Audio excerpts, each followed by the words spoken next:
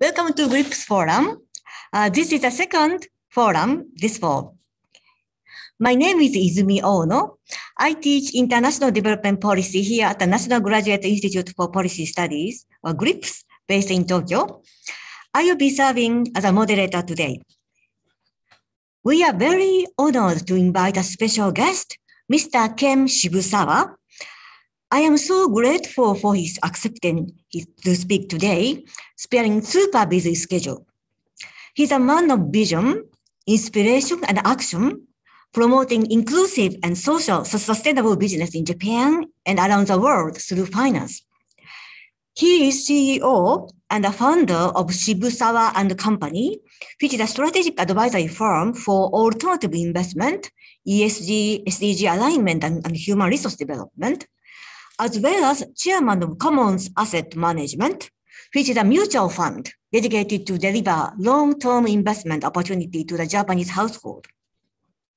Notably, Mr. Ken Shibusawa has been just appointed as one of the 15 members of Prime Minister Kishida's flagship panel, a new capitalism panel, which is tasked to suggest a vision and actions for creating a virtuous cycle of growth and distribution for the post-pandemic economy and society. He is also a great communicator, writing and giving talks frequently for magazines and journals and internet media. This includes his podcast, Made with Japan. Mr. Ken Shibusawa comes from the family of Eiichi Shibusawa, his great great grandfather, who is highly regarded as a father of Japanese capitalism. Eiichi Shibusawa is very popular among Japanese, and actually his drama is now being broadcasted in NHK Weekly History Drama program Sunday night. Yesterday, I also watched it.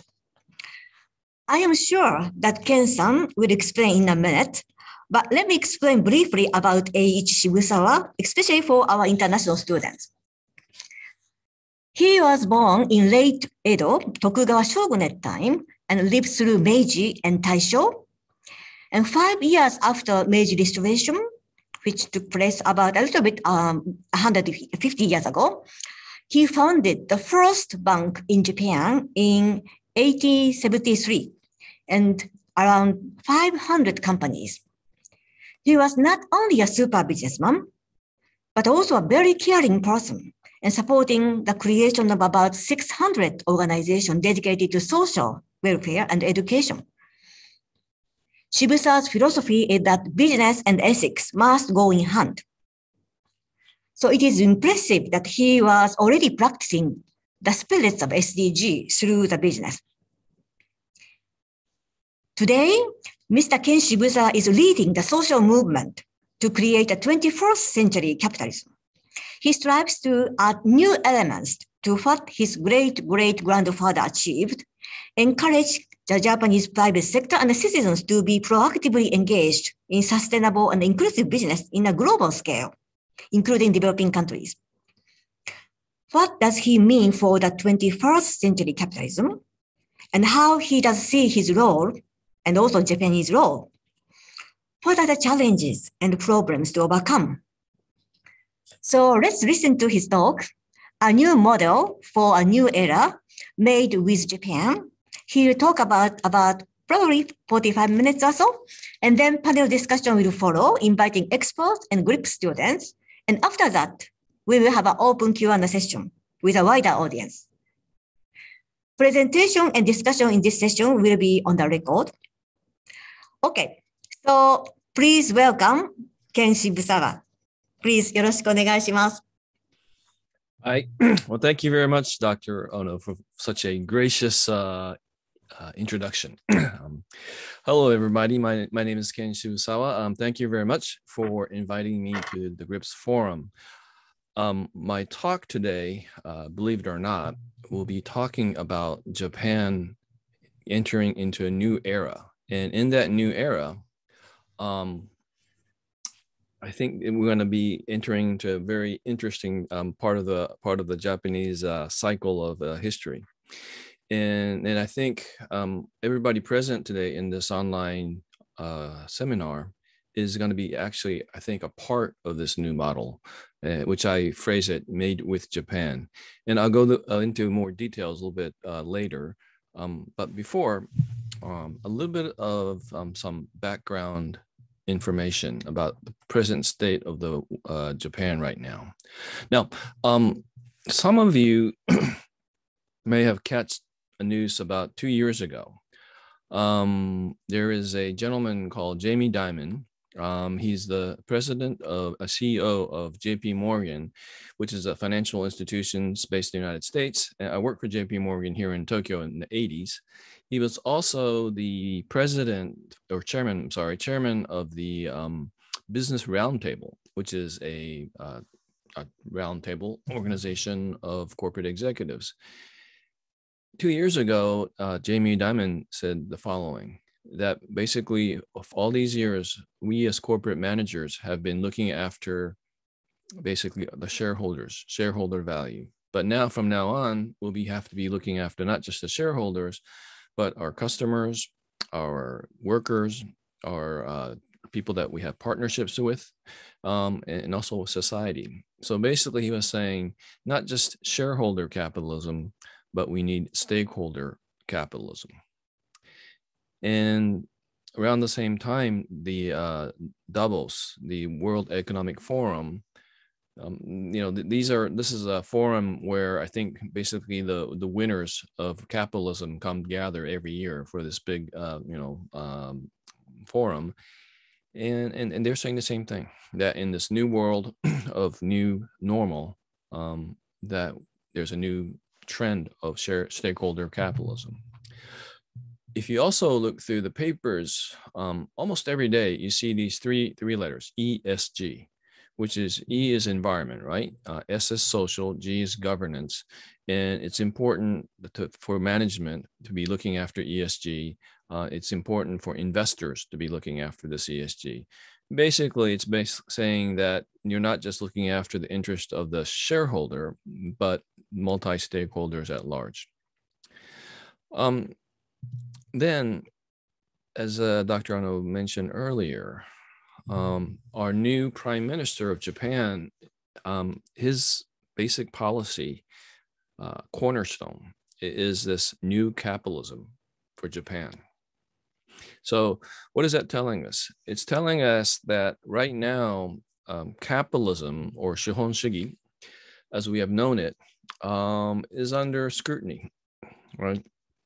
Um, many people believe that with capitalism, it just creates uh, the gap between the have and the have nots. It creates poor working conditions for workers. Uh, it destroys the economy. Um, basically, with capitalism, we cannot um, foresee or or to to design a, a prosperous, you know, life for all in, in our planet. Um, there's lots of disappointment with capitalism, um, not just here in Japan but abroad, and also it kind of feels like w- with the so-called you know young younger younger generation seems to be very disappointed with with uh, with this shihon shugi capitalism. So here enters this guy, um, Eiichi Shibusawa. And as Dr. Ono mentioned in the introduction, he's my grandfather's grandfather, and he's known as the father of Japanese capitalism. He was fairly well known um, because of that status. um, but he became really well known um, uh, two years ago when, when the government of Japan announced that the new uh, 10,000 yen bill, which will be issued from 2024, um, will have his face on it. And this is the, well, I checked, but I think he's the probably the first um, businessman to be on a bill of the you know of a, of a, of a currency of any any developed country. Um, I think the minister of finance I asked and, and they checked and it said there was a, a gentleman um, in in in England, but he was on the backside of the bill. um, and, but you know he's he's on the highest denomination bill here in Japan, and he's on the front front basically in the front. And this kind of triggered the television drama um, Taiga drama, which he's portrayed by this wonderful uh, actor um, and uh, he's you know and and it's it's it's he's become really famous the last couple of years.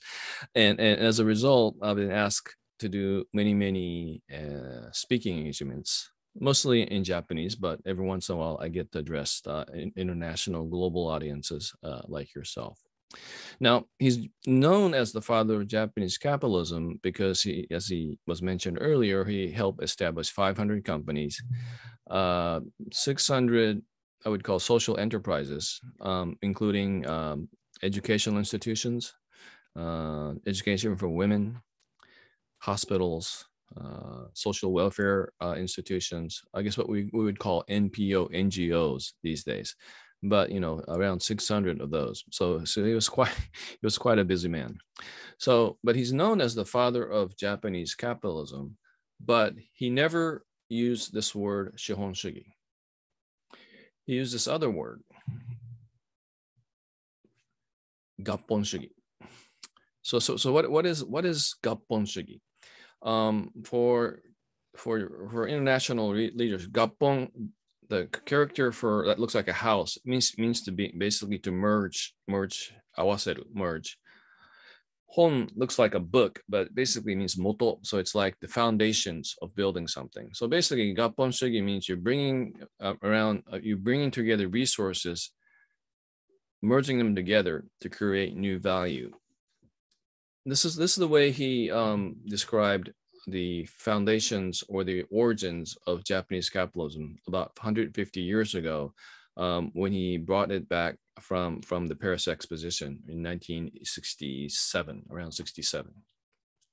That's that's when he he was introduced to the West. Um, he saw the with the second uh, industrial revolution that the the Western uh, economies was being uh, was had advanced very very quickly um, and he and, and Japan was being left behind in in almost 270 years of, feudal law rule, um, and, and, he felt Japan needed to catch up very very quickly. So uh, he lived in an era when Japan was going through tremendous change. there was the Great Reset, what we called Meiji Restoration, um, and then the, a new normal, basically with Japan uh, catching up to to their Western um, peers um, relatively quickly over you know uh, uh, several decades. But so basically, in, in our present day language, he lived in the era he lived in during an era when there was the Great Reset, and it was the new normal, and he achieved lots of lots of uh, uh, well achievements basically, right? And so um, why why is he being brought back to the current the present day Japan? He's like 100 150 years ago this guy, right? Um, so it, it kind of links to why Jamie Dimon I think is saying stakeholder capitalism, and I think it's it's linked to what uh, Kishida Prime Minister Kishida is saying about new capitalism. One is there's questions about the you know the, the capitalism, but the second point is where the current society not just in Japan, but obviously globally, um, we're going through tremendous change. And that tremendous change is a lot of it is based on technology, technology that we didn't have 20, 30 years ago at our fingertips. You know, something like this, for instance, right? It's it's basically a, a you know an industrial revolution, right? That we're going through, and so the times are different, the conditions are different, but but there's similarities, right?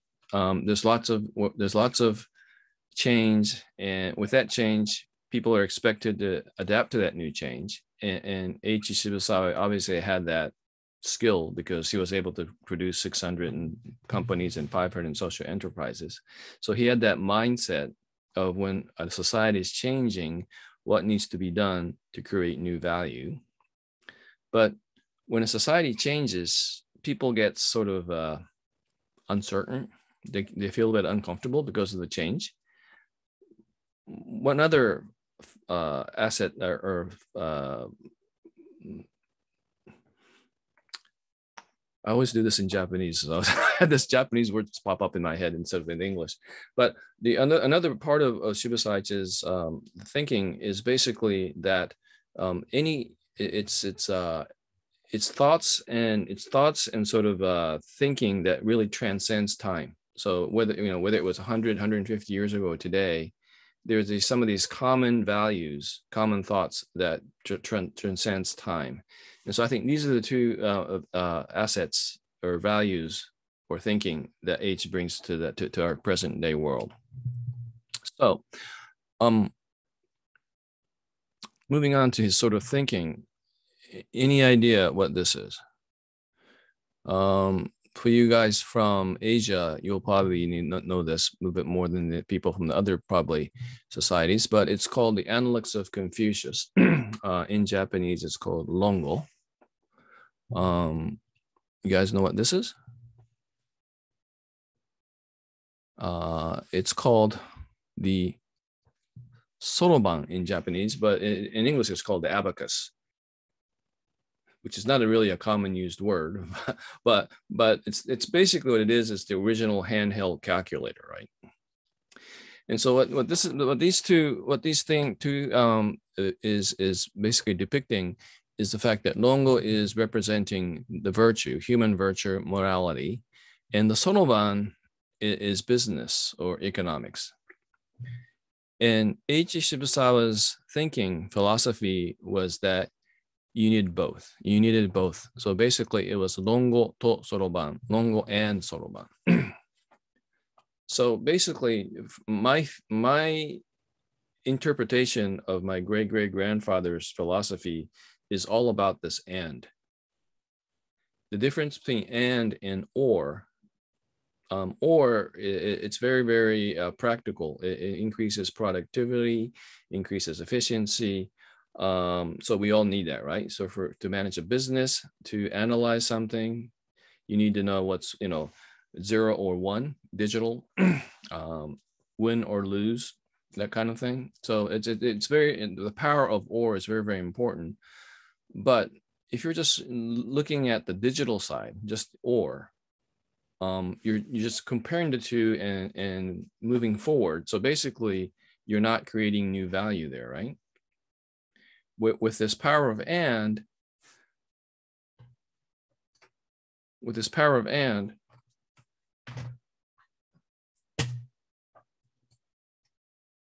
with this power of and is basically you're merging two together yes to create new new value.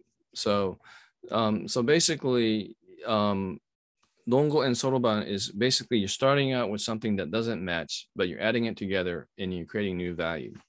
Um, and what, what does that lead to in sort of in, in common day are sort of uh, words it is the fact that I think what Shibusawa Eiichi was saying 100, 150 years ago, when you're merging with Rongo and Soroban, virtue and business, it's not just about doing good, which is important, but it's not just about doing good. I think it was more about sustainability. Why do I say that?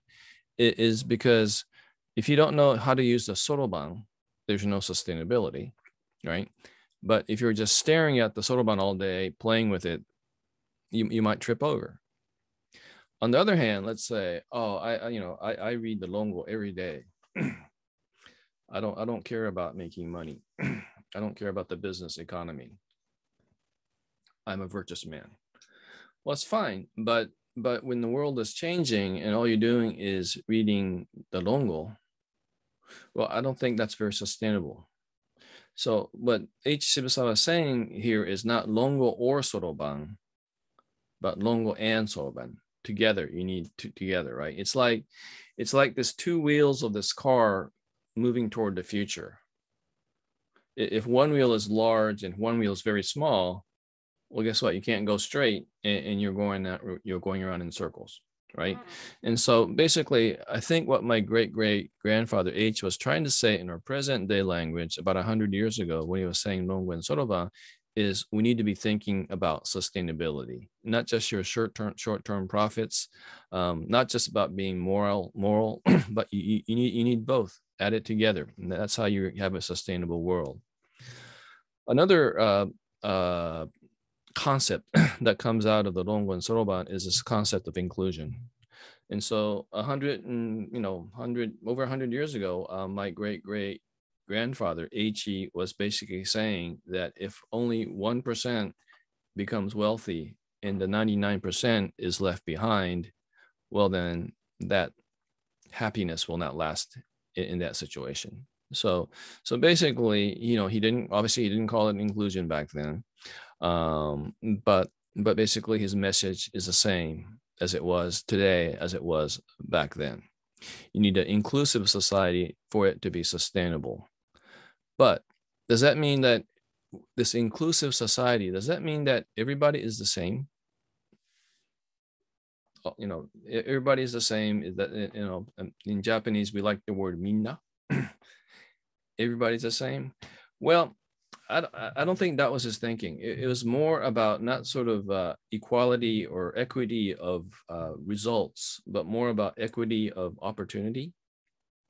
So his thinking was that for a in his in his time, for a new modern uh, state, new new modern society, that no matter what was the um, the your, your your upbringing or your your birth depending on level society, you know, it, it, that that that that's that that's not inclusive, right? But but it should be opportunity for anybody that was uh, born in, in different sort of uh, situation. They should all have the in the opportunity to able to excel to what they have, you know, their their um, self-esteem, their their ability um, and to, to, to, excel, to have uh, to fulfill fulfilling life. So basically, I think it was talking about a inclusive society where there is equal opportunity for all. It might not be the equal results for all, but there should be equal opportunity uh, for all. And so, in that respect, you know, his his words are about 100 and 150 years ago. But what do you think? I, I think it kind of leads up to this this, you know, ideal of leaving nobody behind, the SDGs.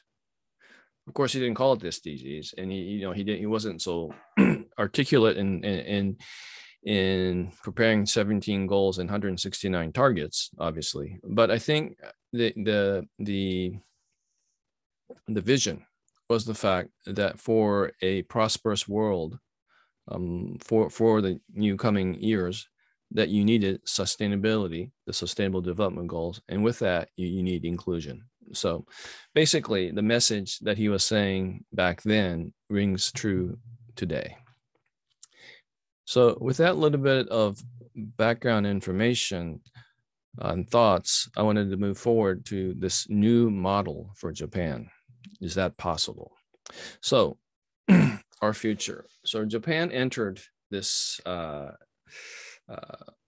period called the Reiwa back in 2019. And then from where we stand, when we look at the future, um, what do we see?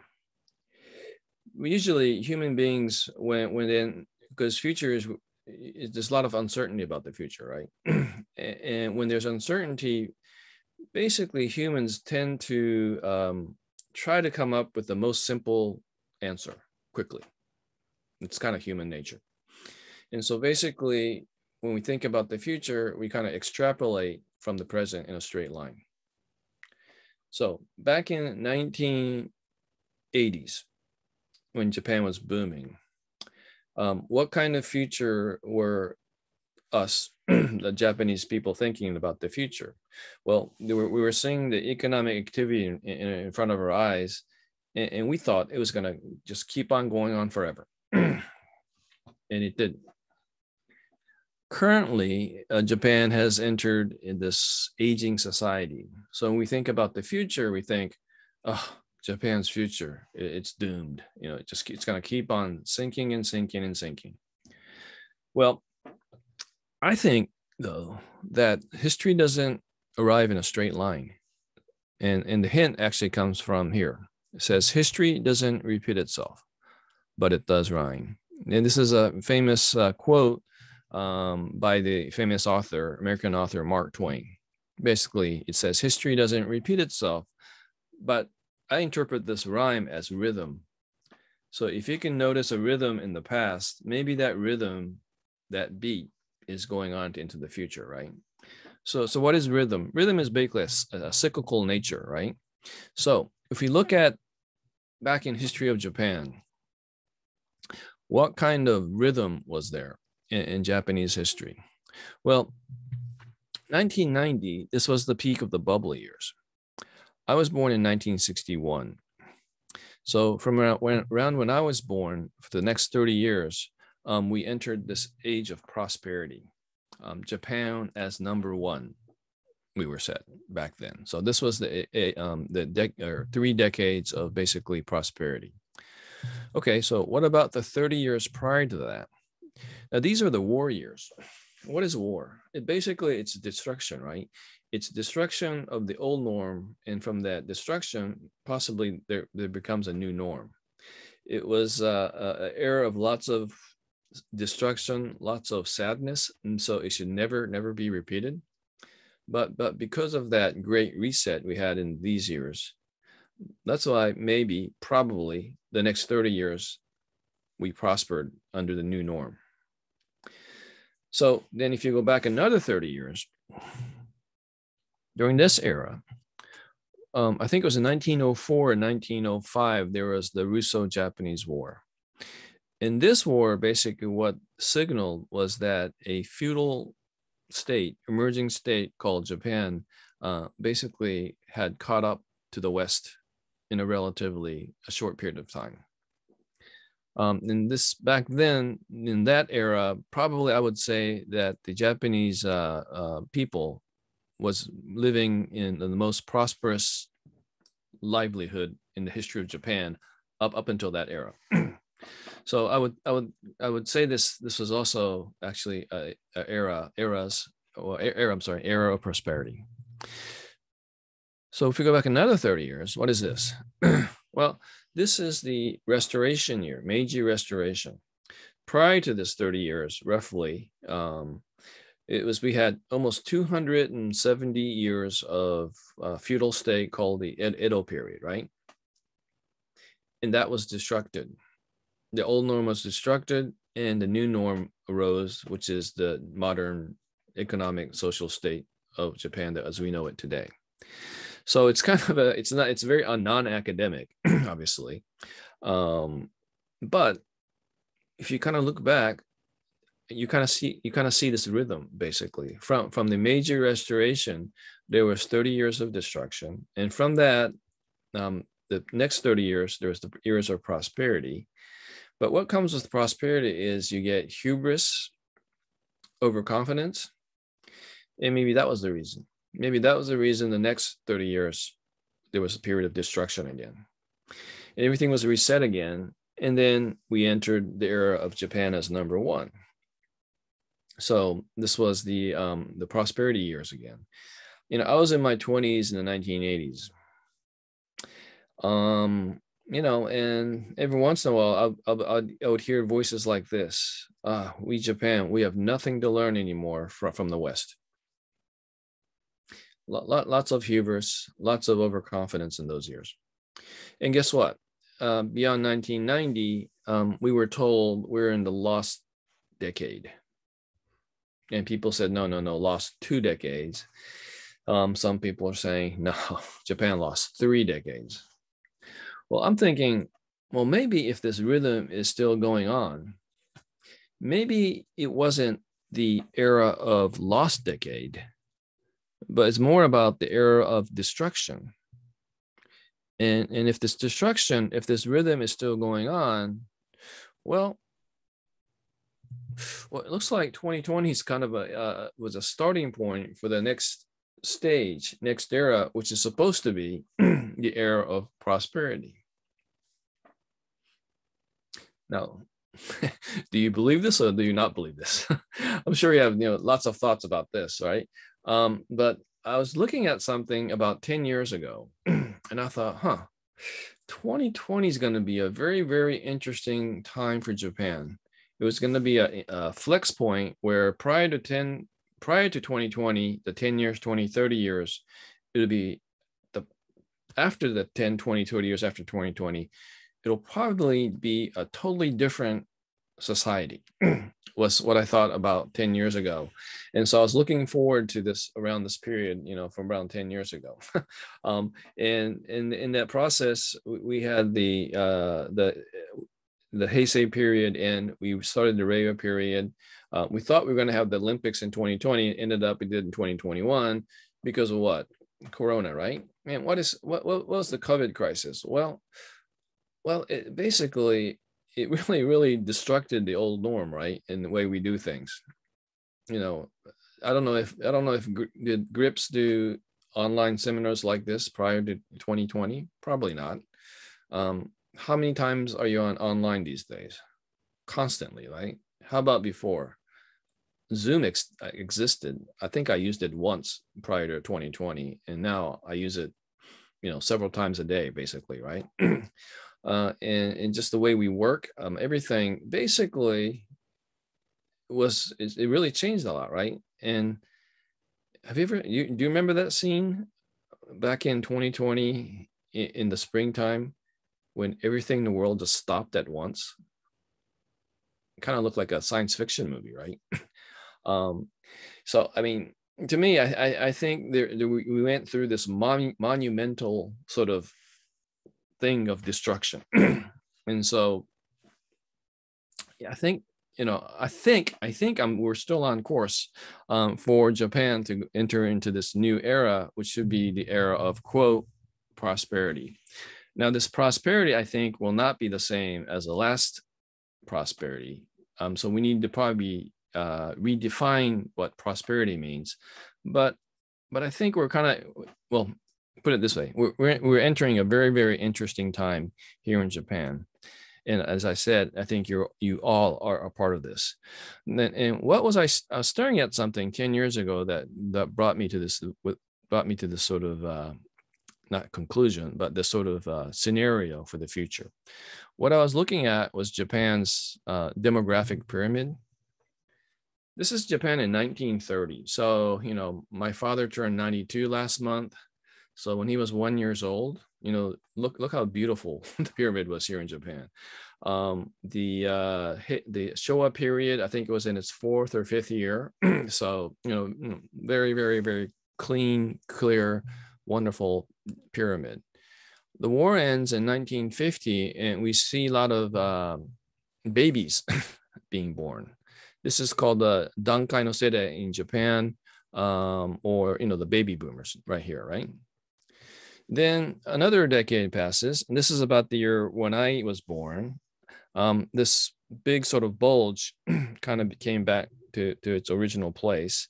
But basically, Japan looked at this pyramid, and that's how we started the universal health coverage here in Japan, the national pension plan.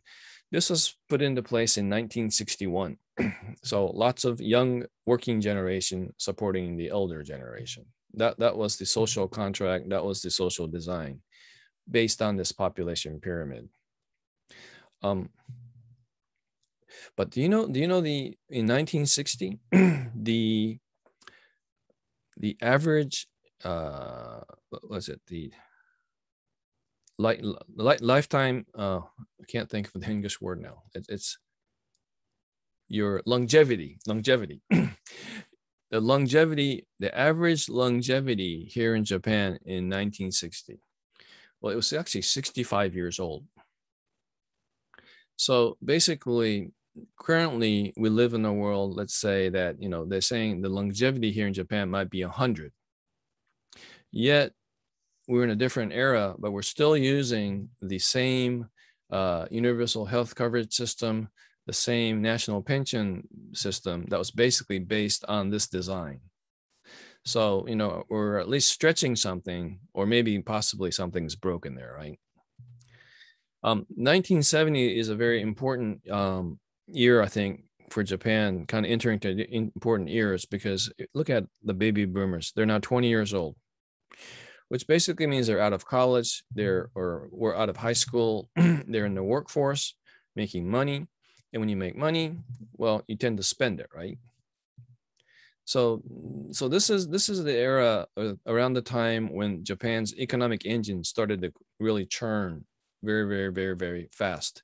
Um, because and currently, you know, we're, we're in this um, uh, aging society, and, and, and many people say, you know, Japanese, we need more babies here.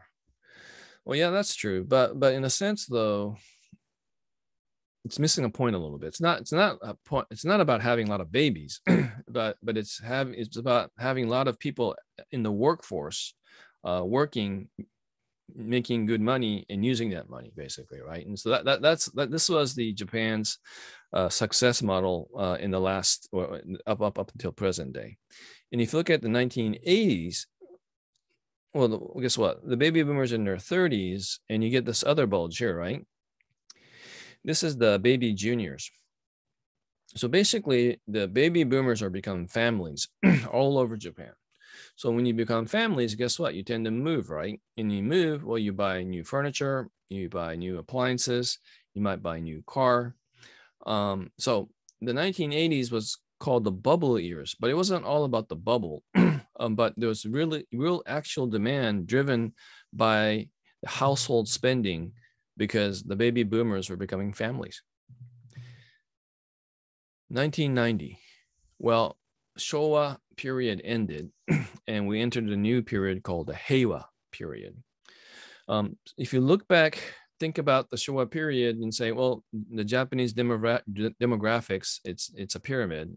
Yeah, it was basically a pyramid. But but if you look at this demographics in the Heisei period from 1990, it doesn't look like a pyramid anymore. It's a sort of double bulge shape thing, right? That it just keep that, that basically slided upwards like this. So this is the 2020, the inflection point. Why I thought 2020 was very, very important was the fact that the Showa Japan was based on this population pyramid. Heisei Japan was this two double double barreled bulge shape. Um, look what happens in Reiwa Japan.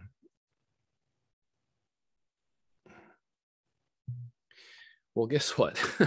um, there, there's a huge, huge transformation in the in the shape of the demographics. Right, just went to this reverse pyramid, and you look at this 30 years from now, Japan, this picture, and you kind of go like, well, well, there's no way. There's no way that Japan can prosper under a situation like this. Well, yeah, if you based your assumptions and if you based all your um, models on the Showa period, the success of the Showa period, which is a pyramid shape, and if you extrapolate that into the future, well, obviously, um, it's going to be very, very difficult for Japan. Yes. Um, but this is a Japan that it's going to actually happen because it's, it's it's a it's a demographic pyramid. You're not going to be able to change the demographics very, very rapidly. So th- this is the reality. This is our uh, foreseen future for Japan. But I think if you come back to 2021, you look and you gaze towards the future, there's the foreseen future, the future that happens for sure, but there's also the unforeseen future. What I mean by unforeseen future is that there's uncertainty. And what I mean by uncertainty, that it may go bad, but it may go good. That's uncertainty, right? if you know it's going bad, that's not uncertainty. It, it's going to happen. but if it might go good, that's uncertainty. So for me, this unforeseen future for Japan, who are the prime actors for this new generation? Well, prior in the in the Japan period, as we as I showed you earlier, it was the baby boomers for sure, right? Who are going to be in the driver's seat? for new creation of new value in our in our Reiwa Japan in the next 30 years? Well, I, I have hopes and uh, expectations that it's going to be actually this this generation, people in their 30s, 20s, 10s, what we call the millennials uh, in the in, in the Z, right? The generation Z. Why do I think that? Well, because people in their 30s now well, guess what? In 2050, you guys are going to be 60s, right? people in their 20s now they're going to be in your 50s and people in their te- teens 10s eh, they're going to be in their 40s so so it's obviously that in the next 30 years this generation is going to be the the, uh, the working you know uh, i guess in japanese we would call geneki sedai people actually working working population of, of the society but as we can see here the problem here for japan that we don't have enough right well that's true but I have a I have a proposition proposition for you. What what if what if this generation this generation millennial is theory I'm sorry not theory Z generation Z um they're um you guys are known as the digital natives. What does that mean? Well, basically means that you don't know a world when the internet was not connected. And, and what is the internet? Well, there, there are some countries, but for Japan and for most of the world, it basically means internet just goes, it's cross border, right? It, it has no borders. So here's my proposition. what if what if people here in Japan in their 30s, 20s, and 10s says, well, I live in Japan, I work in Japan, but hey, through the internet, through my imagination, I'm connected to the world what kind of future do you think this well, what kind of i'm sorry what kind of world do you think this gen, gen, generation will see if they see that they're connected to the world? Well they'll realize that this generation is not a minority. It's the majority. The world is very very young right? Uh places like uh china Korea, and I believe I think it was Thailand as well. Uh, the population is going to be eight, start the starting to age, so the population growth is not it's not going to grow that much. But Indonesia, India, Africa, Africa is 1.3 billion people, right? It's the same as India, same as China. China won't be growing much in the next 30 years in terms of population. What about Africa? well, the Africa uh, by 2050, it's supposed to be uh, 2.5 billion or something like that, right? Almost double. the reason is the reason is that the medium age for Africans is apparently around 20. In Japan, it's around 48. so, actually, this generation, if you use the internet, if you use your imagination, this generation is not a population minority, it's the population majority.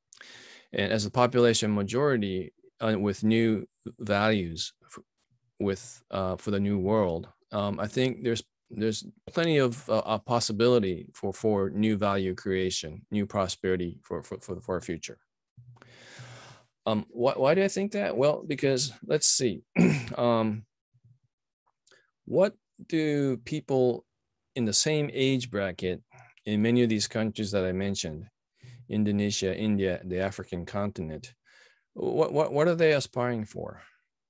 Well, I would think they want to get a job, they want to get paid, and so support their family, right?